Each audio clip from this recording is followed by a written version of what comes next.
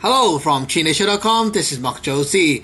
Today I'm going to do a review on this air pistol here. This is the Jericho 941 air pistol. It's not a very new pistol, but then it's a very good and powerful pistol. Let's take a look together. It comes in a box like that. And first we have some instructions. And also it's made by Cybergun as well, so it's very good. It came in uh, the 6mm airsoft version, and uh, this is the uh, 4.5mm steel BB version. It doesn't shoot plastic BBs. And first, it came with some BBs.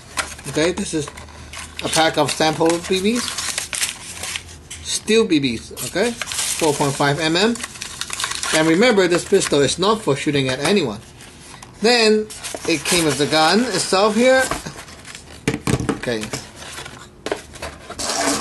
This is the pistol. Also, you can, if you like, you can buy spare mags some places are already out of stock with the spare mags because it's too good. Okay, this pistol, okay, one word, it's powerful. The magazines are all full metal, very, very heavy. And here is uh, the spot where you screw it out to uh, release uh, CO2 or to screw in CO2 with an Allen wrench.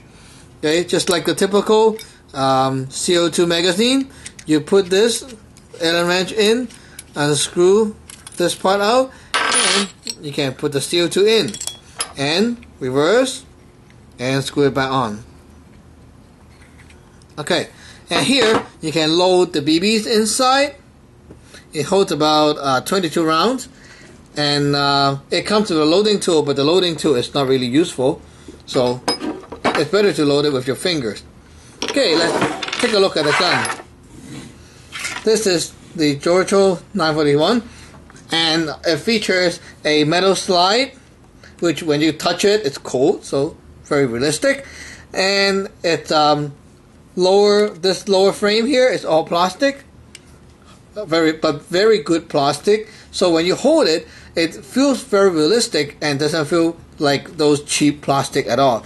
The slide is not movable and you have a functional safety here as you can see. Fire safe.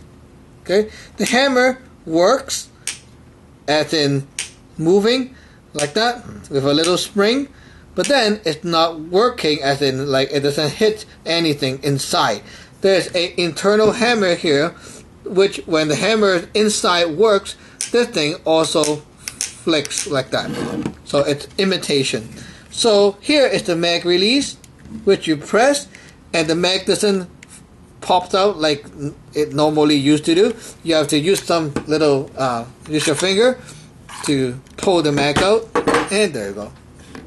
Okay, the trigger here is um, made of metal and it's very stiff.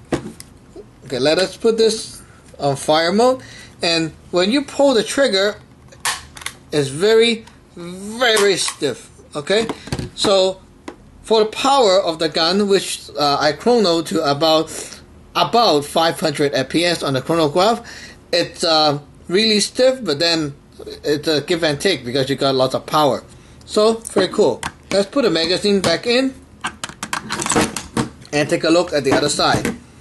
Here is a uh, the ejection port, and it's covered with uh, silver stickers that makes it realistic. Looks like stainless steel inside and uh, everything else doesn't really move here as well but then the safety can also be accessed on this side as well very cool and this is uh, the sight the sight the rear sight and the front sight is not adjustable but then the gun is really accurate out of the box here is the front the barrel and as you can see they have some fake rifling here uh, as well so it makes it very realistic looking so here's the other side. So when you grab onto it, it feels like a real gun. Okay, thank you for watching. For more airgun videos, please subscribe to our YouTube channel.